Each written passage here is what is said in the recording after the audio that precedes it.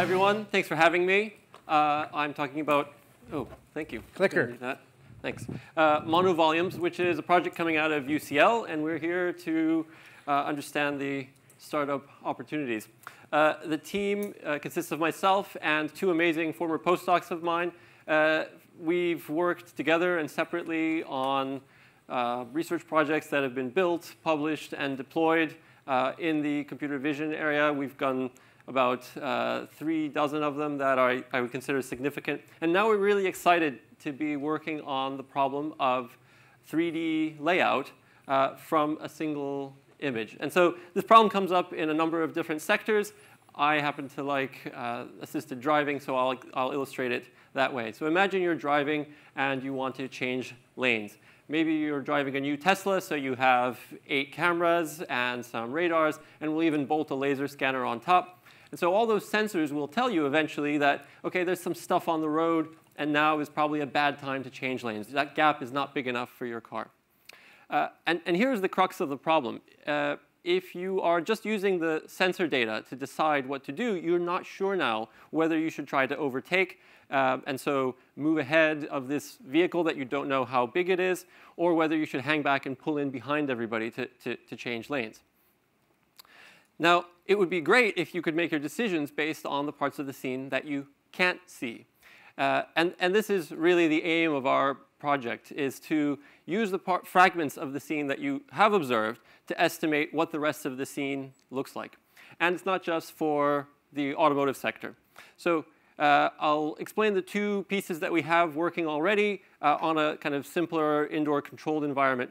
Uh, it's easy to get a single image like this. You got the colors, so you have the appearance of what objects look like, but you don't have the shape and the size. For shape and size, you might go to your go-to um, depth sensors, so laser scanners or something else, and, and then you'll get data like this. The alternative way to do that is our monodepth system, which takes a color image and produces a depth map. And I'll talk more about that in just a second. But first, uh, I wanted to just uh, harp on the depth images. They usually look good uh, in general from whatever sensor you use from the original camera angle. But if you, uh, if you try to view them from a different angle, you'll see these, these gaps, these holes, because the surfaces you did capture are blocking your view, so you can't see behind them.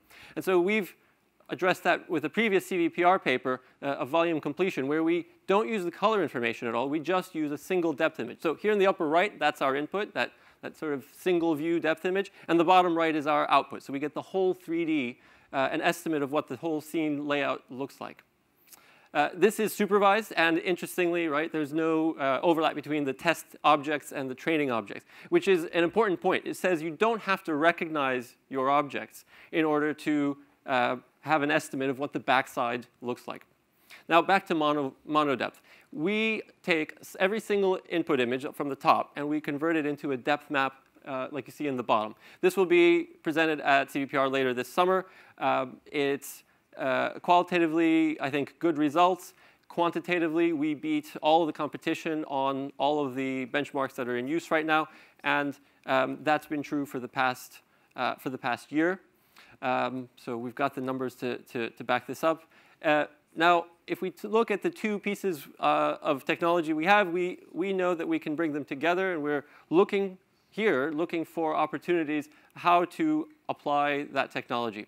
Some of the things we've looked at so far include uh, browsing of your image collections, trying to interpolate. Um, you know, you've got these disocclusions happening all the time and how to cope with those. Another, another option is to look at our um, making your home videos into uh, 3D sort of stereo visualizations. And we've got some progress on that, so we take a single image like this and we can convert it into these sort of left-right combinations. But we're on the lookout uh, for more ideas, uh, and that's why we're here. So to, to, to sort of wrap up, I want to say that occlusion is kind of the enemy, uh, and with some hard work and some careful data capture, uh, we, we now know that we, can, that we can sort of think our way around occlusions. So thank you. Okay, great.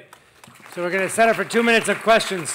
Just to reiterate, um, uh, especially for the VCs that are among this great group of judges, these are not being judged as startup competition, more as brilliant computer vision teams um, working on a unique idea, uh, unique tech that could potentially become a startup or a part of another startup or recruited or something. So it's a little bit different. Uh, fire away questions. Who has questions? Great. Can I bring some mics over here? All right, Tali. Hi. Um, so my question is, what is the range of scenes that mono volume and mono depth is applicable for? The, the, the Venn diagram doesn't quite overlap very well yet, so that's what we're working on. So the mono depth works on uh, street scenes because we've trained it on data that we were able to obtain of street scenes. You just need to have stereo pairs. The, mono, the, the volume completion works currently on scenes where we can capture objects by walking around them and scanning them from all sides with some kind of depth sensor. What will be one killer app? Uh, besides assisted driving? Uh, yes. Okay, uh, so other options might be like uh, robot grasping, right? A robot could eventually estimate the shape of a scene and figure out how to get to something, but it would have to walk around the scene first, and so then it doesn't know where to go. So, so figuring out where to grasp or how to navigate a scene would be, would be one thing if you were going for robots. Great, Ira. And when the judges, when you ask a question, just quickly say your name so everybody else in the back, they, they can't see your face who's speaking. My name is Ira. Uh, a question. So you, you've mentioned that the completion is different, is separate part for now. How how long, how how hard do you think is to combine the two?